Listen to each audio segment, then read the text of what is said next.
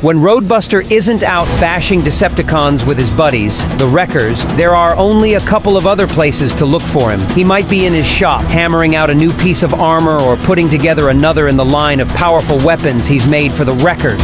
He might be out on the racetrack, pushing his engine to the limit with his human buddy Sergeant Recon. Wherever he is, though, you can be sure he'll be going about his task with his head down and his shoulders set. Roadbuster's not a big talker and he's no genius, but his willpower and dog tenacity always get the job done. Let's get some. By Roadbuster.